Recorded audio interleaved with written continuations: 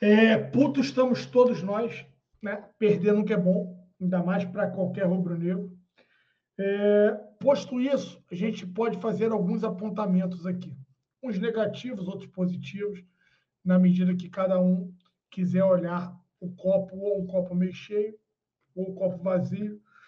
Eu entendo e compartilho da revolta que muitos estão aqui, até porque o Flamengo é muito mais time que o Bolívia. Posto isso, a gente tem que trazer o primeiro ponto. Esse elenco não é aquilo tudo que a gente sempre imagina, que a gente sempre destaca, a gente sempre exalta. Esse é um ponto importante que o torcedor rubro-negro tem que saber. Posto isso, a gente precisa também entender que essa estratégia está clara e notoriamente aprovada pela atual diretoria do Flamengo. Então a gente pode colocar muito dela na conta do Tite, e temos que colocar, mas não podemos isentar a diretoria do Flamengo, que previamente concordou com tudo que a gente viu hoje. Um time que não é a principal força do Flamengo, um time que tem jogadores sim com potencial, com capacidade, mas que ainda não estão entregando o máximo de futebol que pode e fez com que um adversário frágil, infelizmente, superasse e quebrasse a invencibilidade do Flamengo. Posto isso, eu vou ser muito honesto com vocês. Eu não vou bater no Tite nesse momento. Porque se lá eu estivesse, talvez eu faria exatamente a mesma coisa que ele fez. O Pedro foi poupado do último jogo, o Arrascaeta foi poupado do último jogo, e não tiveram as melhores condições, porque se estivessem, mesmo sendo poupados, eles poderiam estar hoje. E se não estiveram, alguma coisa aconteceu. Né? Ou o risco é muito alto de lesão dele e dos outros atletas, eles entenderam e preferiram não trazer os atletas para cá. Ponto.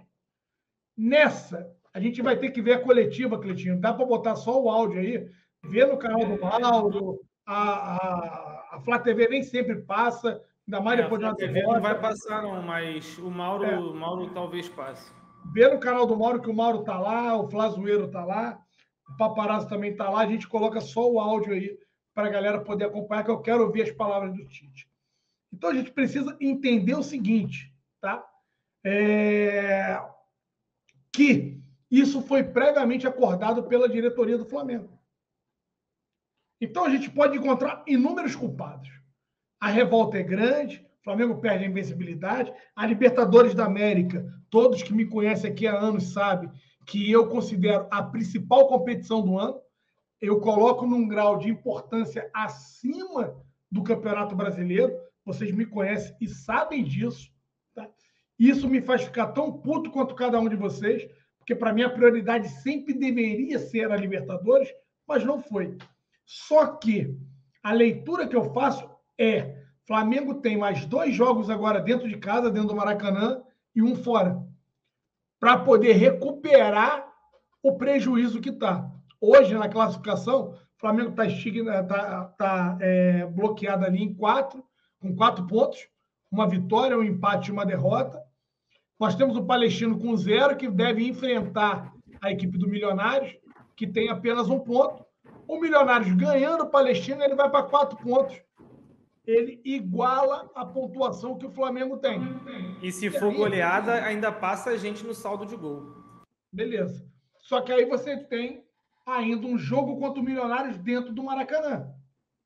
Você tem um jogo contra o Bolívar dentro do Maracanã.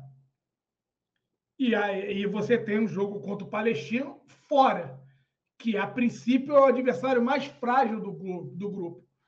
Posto isso, eu não vejo, sendo muito honesto com vocês, a menor possibilidade do Flamengo estar fora da próxima fase da Libertadores da América. Eu não vejo. E pode ser que a diretoria entendeu e considerou isso para que pudesse permitir, em comum acordo com o Tite, o que a gente está vendo hoje.